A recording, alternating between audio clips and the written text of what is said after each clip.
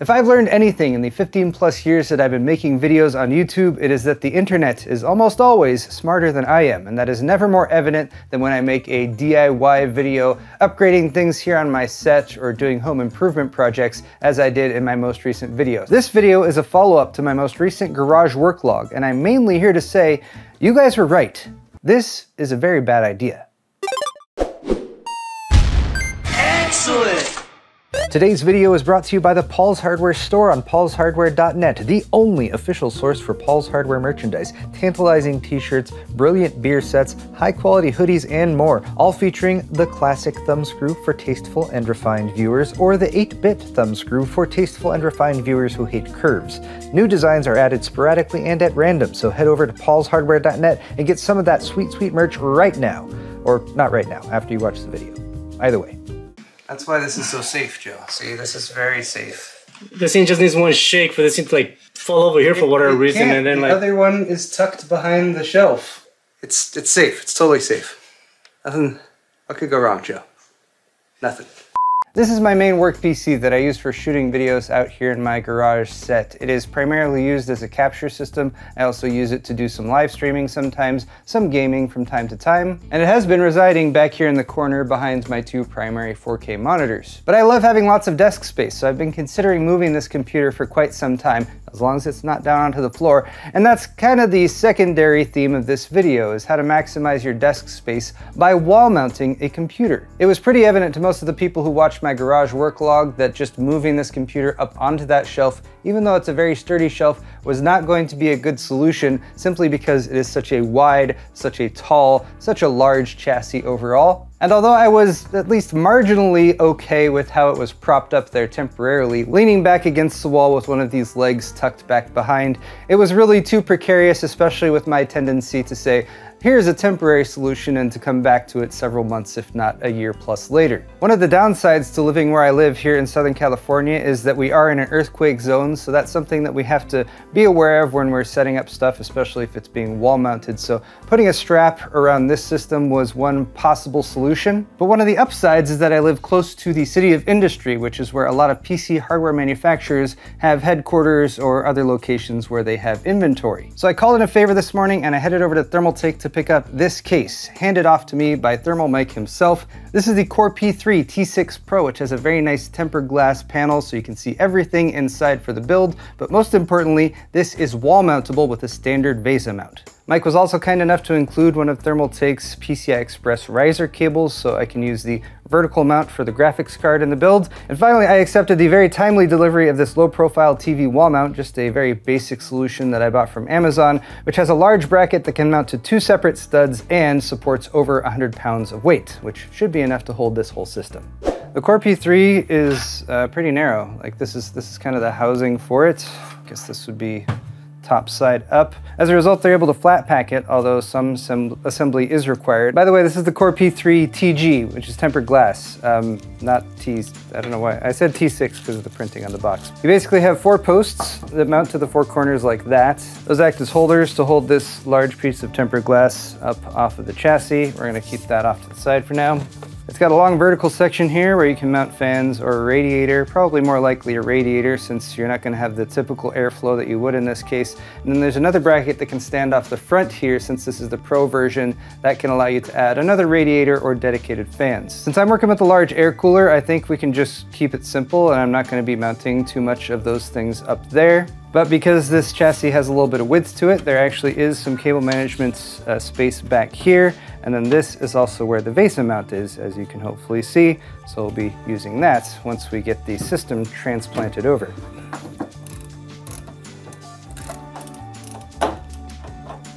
After loosening these six thumb screws, we can remove this back panel. Here's where you can see that that VESA mount is not just part of the back panel, it's actually mounted to the rest of the chassis and that's nice and sturdy. So that's good because this system is going to be fairly heavy once it's all assembled, especially with these metal posts because these are these are pretty sturdy. These are nice. It's nice metal, but they're also pretty weighty. I'm just going to mount some of this stuff to the case as shown in the manual. Get this screw through there. That's how the post mounts, and they have also reinforced up in the corners here where those posts mount. So again, you can have a pretty sturdy finished product. The remaining accessories allow you to configure this in various ways. For instance, you can horizontally mount your power supply, so like the fan faces this way. This piece here is for the vertically mounted graphics card, so I believe that mounts right there, and we are gonna be using this piece. Oh, no, sorry, it mounts right here. And this is gonna have a bracket for the power supply that fits down underneath it. The instructions give sort of an exploded view of how everything fits together, so it's, it's reasonable enough to look at that and figure it out.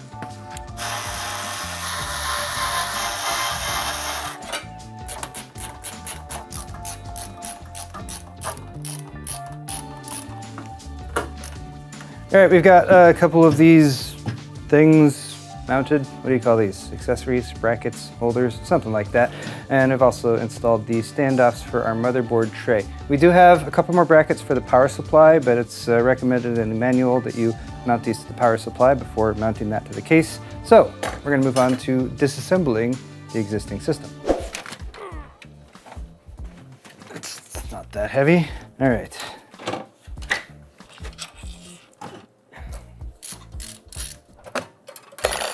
3070 Ti.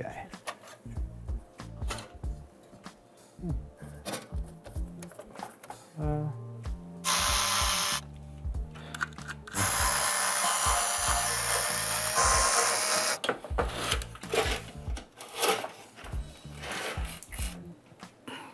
All right, we have removed all of the components from the old case and now we can install them in the new case. I'm gonna start with the power supply because we have this Be Quiet Dark Power Pro. This is 80 plus titanium 1000 watt power supply. Barely dusty at all because thanks to it being a high wattage unit and having zero fan mode, uh, the fan rarely ever spins on this power supply, so that's cool.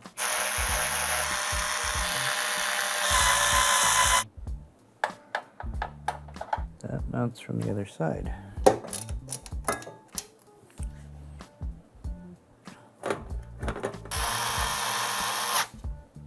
We now have a moment of truth to determine if our somewhat tall air cooler, which is also from Be Quiet, is going to fit underneath the tempered glass in this case. I think it will. Ta-da! Plenty, plenty of clearance. I can fit my finger. See? Beautiful. All right.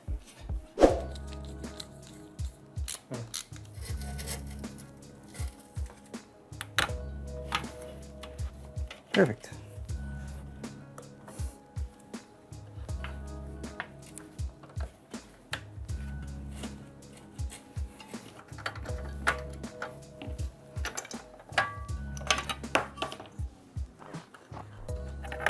Ah, I gotcha.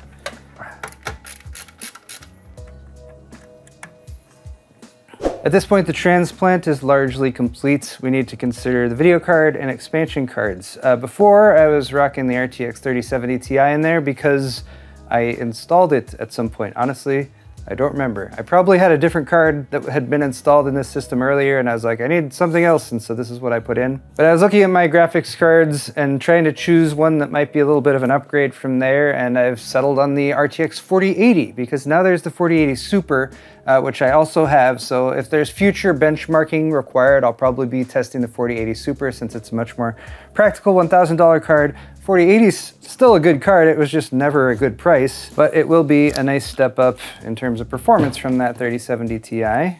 And it also, you know, has that, that cool look of the NVIDIA Founders Edition graphics cards as well. We did need to connect up one more PCI Express graphics power connector to the power supply because we need three of those instead of two for the 4080. But the other thing over here that some of you guys might have noticed already, especially if you're watching us uh, set up for the vertical, vertically mounted GPU is Hey Paul, what about those expansion cards, like the capture cards that you use pretty regularly? Like, don't you still want to have those connected? And isn't that kind of hard to do with a vertically mounted GPU? Yes, the answer is absolutely yes. And I totally thought of this beforehand. I This is all very well planned ahead, let me assure you. Okay, to be perfectly honest, um, I, I almost thought like, oh no, we need to just remove this and not do the vertically mounted GPU and do standard mounting, but I think, I think I can actually still fit stuff. Remember, Threadripper CPUs have many, many PCI Express lanes, which means that lots of these slots down here still have full uh, by 16 connectivity. So we're not too concerned about where the GPU gets installed. In fact, this was where the top capture card was already installed before in the top slot, and I had the GPU, I think, in the third slot down there. So by leaving this capture card in the top slot, we can still access the video in and out. And why is this sounding familiar? trying to figure out a way to install a capture card and still have access to the video in and outs. This is like Joe's build. It's just like Joe's build that we did recently. I'm gonna see if I can support this a little bit more. This is actually a rod support that came uh, with one of our test beds over there. Although now that I'm setting this up, this might go right across the video in and outs, so that's, maybe that won't work. Speaking of Joe's uh, PC build, which um, you guys should check out if you haven't watched the videos for that, it was a pretty epic one that uh, had some, some fails along the way that we had to fix. But one of them was getting some PCI Express risers uh, to see if we could move some of his expansion cards around. So I still have those. This is a by 4 one, so that should work just fine for our 4K60 Pro capture card. This will allow us to connect this up to probably the lowest PCIe slot here, and then hopefully have this as close to the motherboard as we can get it, maybe in the second or third expansion bracket down there. And then this is the metal bracket that comes with the case for vertically mounted GPUs. This is the riser cable that uh, Thermal Mike brought out for me to use this morning. And I think this has enough length that we can mount that down there to the bottom to give ourselves three slot, spot, slot spacing for our graphics card and then still have this cable come up there. I hope. We'll see. Maybe it'll work, maybe it won't. Maybe we'll just remove this whole vertical mount thing and go back to normal mounting. I don't know. Find out right now. I need to get another hand down there, but I can't. There we go. This would need to go like here.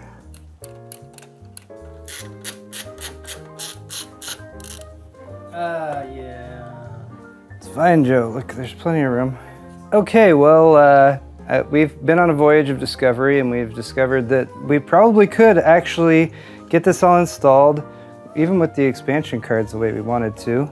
I remove this top one. Yeah. Even that I think would be a conflict.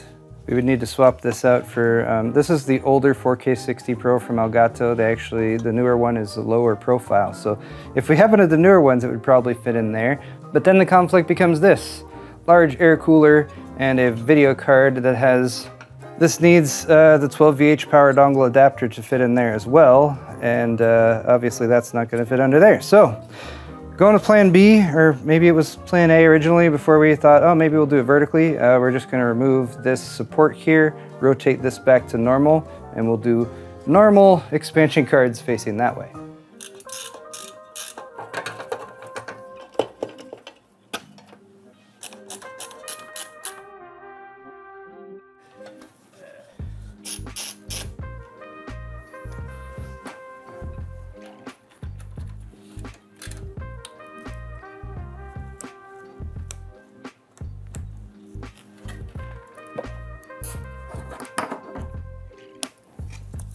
With the expansion slots reconfigured, we have fit everything back in pretty much as it was in the previous case, and it's uh, looking pretty good. I haven't done like the best cable management ever. I tried to tie stuff down and use some zip ties here and there. I haven't like gone with cable combs everywhere or anything like that, because the goal for this build which is actually making me happy that we're not going with the vertically mounted GPU was for it to be more function than form. And of course, a vertically mounted GPU is almost always uh, form over function unless you're like trying to fit it in a mini ITX build or something like that. But everything is wired up, hooked up, connected up. Before we wall mount this, uh, we're gonna do what we should always do with the system that we've just built before you like do something that's hard to reverse, like mounting it to a wall and plug it in and see if it works. We also get to see if Joe makes some funny noises again as I, as I do something like this.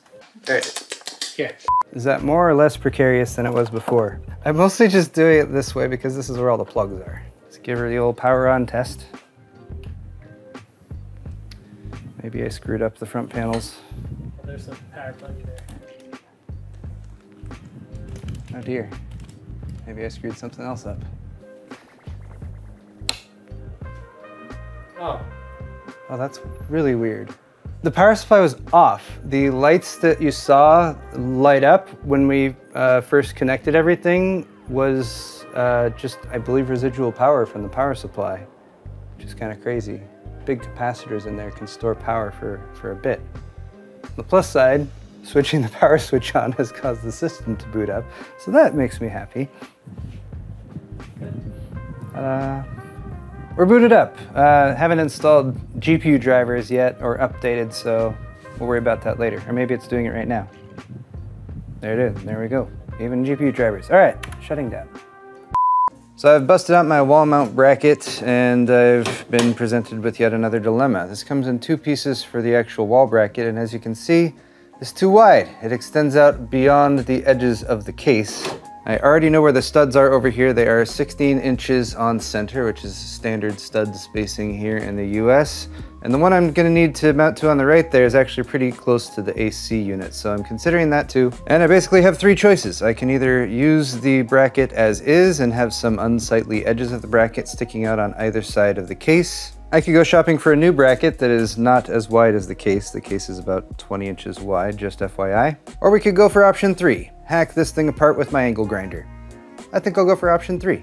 After getting that plate securely mounted to the wall, it actually wasn't too difficult to mount the case to it. It is a bit heavy and awkward, but after I got the top half of the mounts hooked on, the bottom half just sort of snapped into place and then I mounted the tempered glass panel. I almost forgot to include the little rubber grommets for the tempered glass panel, which I think you definitely should be including because you don't want the glass right up against those metal standoff studs because they're pretty heavy duty. But after popping those on, I was able to mount the tempered glass panel, get the system booted up, and then finish things off, at least for now, with a bit of wire loom here at the back to do a little bit of cable management. This isn't perfect. I am going to be updating this I might consider making something that looks a little bit more permanent, like that's actually mounted to the wall, just a channel running down or something like that. And I, of course, have a bunch of cable management and stuff to do still for my main desks, which is another project for another day. Overall, though, I'd say I'm really happy with how this turned out. The system doesn't have like a lot of lighting going on. There's just sort of some native stuff on the uh, expansion cards and the motherboard. The right side over here, which Thermaltake has set up for like water cooling radiators and stuff, is a little bit empty, but honestly,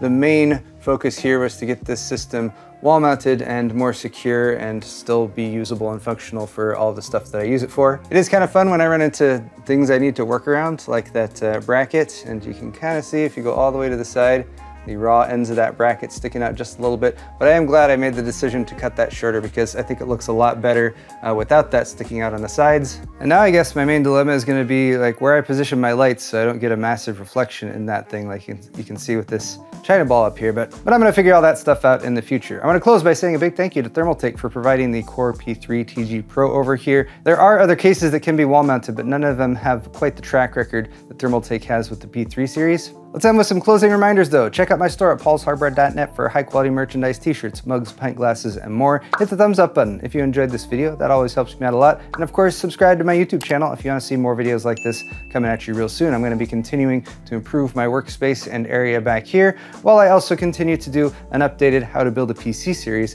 that's in the works as well. Thank you guys so much for watching this video, and we'll see you all in the next one.